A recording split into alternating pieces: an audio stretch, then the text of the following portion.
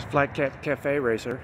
Uh, to, occasionally I go to some uh, motorcycle shops and just talk to the salesman uh, and let them explain a little bit some, about some of the models that I'm interested in. And if you have any questions or any comments of models you'd like for me to look at, let me know in the comments section. Today I'm at the Indian shop in Boise, Idaho. Meerkat. I'm here at uh, Boise Indian, and I'm talking to Hunter. And Hunter's going to explain a little bit about these FTRs because I don't know anything about them. Right on.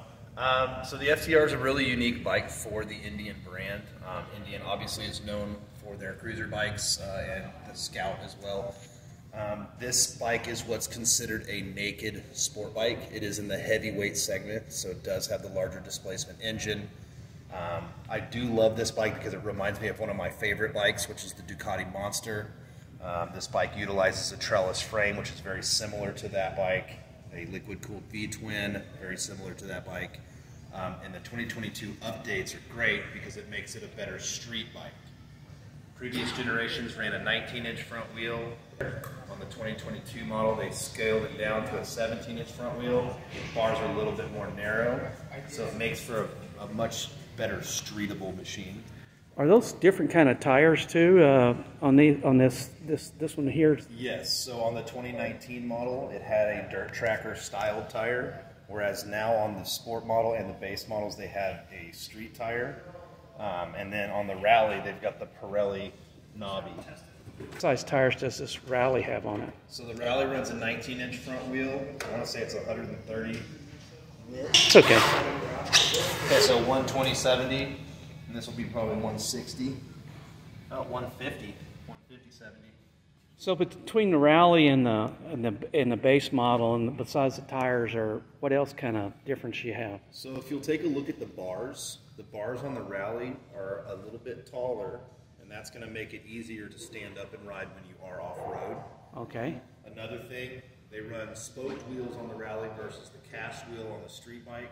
Spoked wheels can handle more punishment for off-road use, and the 19-inch front wheel on the rally gives you a better capability of overcoming obstacles like logs and rocks and stuff like that.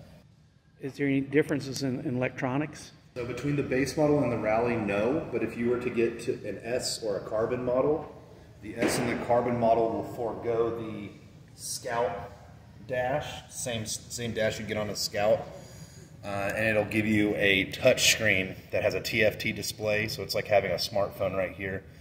Um, also, with those models, you get the rider modes, you get the Bluetooth connectivity, um, and you get the ride command.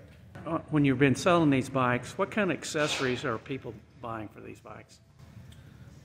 I'd have to say the most common accessory, if you're going to go with a base model or a rally, is I do see a lot of the Akrapovic slip-on. Uh, there's also an S&S uh, exhaust that sounds really good.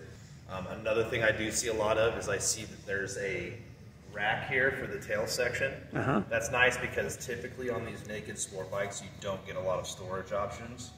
And for the guy or gal that's going to take this thing off road or maybe go out camping for a day or so, it's nice to have a bedroll. It's nice to have a, a backpack strapped to the bike. That way it's not on your back and you have something for when you need to stop somewhere. For the cruisers, but they do offer different seats for the FTR. A huge one that I've also seen, this just came to mind, is I see a lot of people deleting this. Um, this is pretty heavy duty. I mean, this is this is steel tubular. This is not plastic. That's pretty that's pretty hardcore. And a lot of riders don't like having that mud flap down there. I think it looks cool, but you know everybody's different. So I see this gone, and they add a t- uh, license plate tail tidy here. But I've sold FTRs to all groups. I've, I've sold this bike to 19 year old riders. I've sold this bike to 55 year old riders. Um, and it all really just boils down to what kind of rider are you? Because, yeah, there's gray haired, long haired dudes that are out there on CBR 1000s doing track days. I'd like to mention there's no hair dudes out there doing that too. Yeah. You know, it, it all just boils down to who you are as a writer, you know. Um, and that's kind of what makes this industry so cool is what, what, what do you like to write? I'd like to see one of these out at the drag strip sometime because uh, I think it'd do pretty well actually. I, I don't see any reason why not.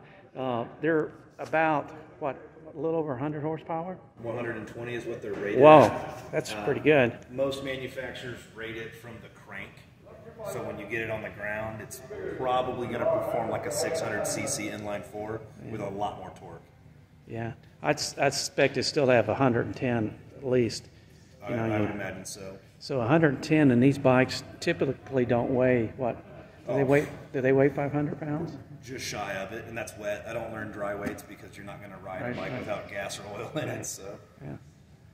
So, folks, the FTRs, to me, is one of the most interesting of the Indian models, and you ought to get yourself down here to Boise Triumph and talk to Hunter. I wanted to thank Hunter and uh, Boise of, of Indian for letting me come in here. If somebody wants to uh, buy a bike, Hunter, they should come see you in Oh, well, they could come in, check out all the inventory we've got. Um, we, we're open to test rides. You know, as long as you have your endorsement, you uh, are willing to wear a helmet. Uh, we're more than happy to put you out on these bikes. Uh, it makes our job of selling it a lot easier once you take it for a spin. If there are any brands or models you want me to go visit, let me know in the comments section. Thank you. Join me and my friends at Flat Cap Cafe Racer for riding and racing. Please subscribe.